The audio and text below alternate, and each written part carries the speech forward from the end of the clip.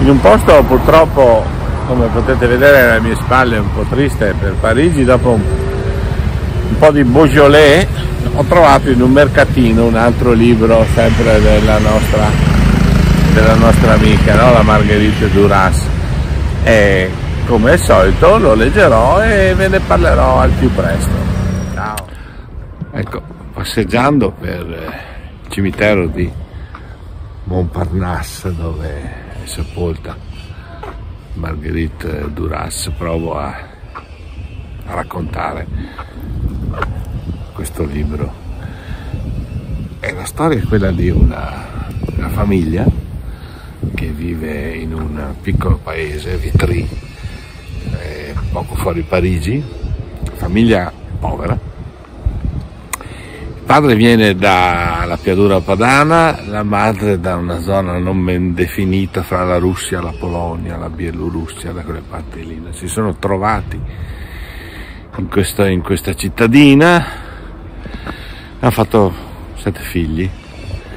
Lui è disoccupato, lei è anche disoccupata, lui forse ha dei problemi eh, di salute mentale.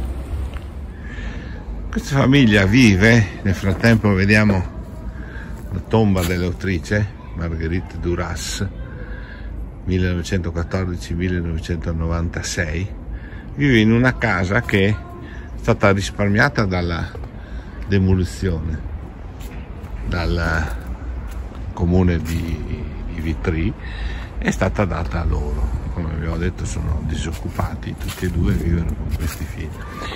Il figlio più grande, di 12 anni, ma è grande, grande, grande, sembra che abbia più di 12 anni, è un, un genio, diremmo. Infatti cosa fa questo figlio? Non va a scuola, ma non ha bisogno di andare a scuola, impara tutto, è andato alcuni giorni, poi è andato via perché secondo lui insegnano solo le cose che uno non sa, frase apparentemente contraddittoria che ritorna un po' in, tutta, in, tutta, in tutto il libro e che non è mai spiegata. Lui che cosa fa? Lui da solo trova un libro, probabilmente una Bibbia, e comincia a leggere, non sa leggere lui, eh? però non si sa come lo legge, lo capisce. E verifica questo fatto, fanno vedere il libro a qualcuno che sa leggere e affermano che effettivamente quello che lui ha capito è corretto. Vivono appunto po' distenti, la madre è sempre lì. E che cosa succede? Succede che i due fratelli più grandi in qualche modo si innamorano. Si innamorano e hanno anche dei, dei rapporti di tipo, tipo, carnale fra i due, no?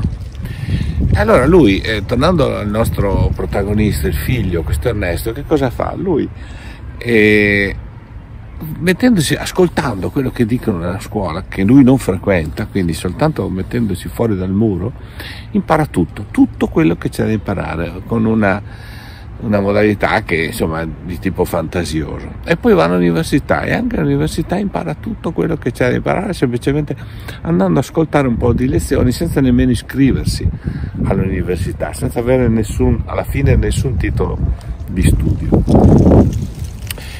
È un eh, libro che è molto, come dire, scenografico, ci sono moltissimi dialoghi. In effetti, come racconta la stessa Duras alla fine del libro, anni prima, nel, nel 94 mi pare, o, o nell'84, non ricordo bene adesso, lei aveva fatto un film dal titolo La pioggia d'estate. E successivamente ha voluto trarne un libro. E si vede che ha una struttura cinematografica, ci sono molti dialoghi ci sono molti dialoghi, scene fisse all'interno di questa poverissima casa, soprattutto dialoghi fra la madre e il figlio, e quelli che hanno il maggiore eh, numero di dialoghi. E, e così eh, loro si raccontano, lei è molto triste di questo.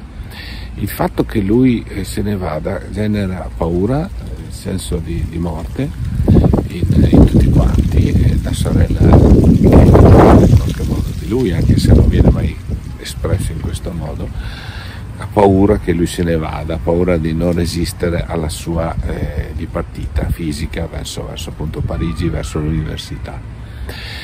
Ed è un libro, devo dire la verità, un po' strano questo qua, un libro dove, dove la trama è un po', un po', lineare, non succede nulla, voglio dire, non succedono fenomeni molto particolari. Questo Vitry è un paesetto fuori Parigi che la stessa Duras definisce privo di qualsiasi interesse, privo di qualsiasi senso di tipo cinematografico e lei in qualche modo lo fa diventare il luogo del, di, questo, di questo romanzo, prima del film e poi del romanzo cosa c'è da dire? Questo è un libro che più si va avanti più uno in qualche modo lo trova un po' strano. È uno degli ultimi libri che ha scritto la Durazza, è stato pubblicato nel 90, quindi insomma lei è morta nel 96 come abbiamo visto appena adesso dalla tomba. Ed è un bel ricorda anche per esempio la, la diga contro il Pacifico perché i rapporti fra la madre e il figlio in questo caso sono molto particolari, molto stretti, fatti di tenerezza, fatti anche di, di, di scontri, ma al tempo stesso di un legame molto forte fra di loro. Insomma, io francamente lo trovo molto interessante come libro. Bene, in conclusione, eh beh, naturalmente ci sono anche altri personaggi, c'è un istitutore, ci sono altri personaggi che io adesso non, non, non vi racconto, vi lascio a voi scoprire. Il libro, eccolo qua, La pioggia d'estate, questa è la versione francese che ho trovato appunto nel posto di libri usati, ma c'è anche la versione italiana. Bene, io vi suggerisco di leggerlo e vi auguro ovviamente buona lettura.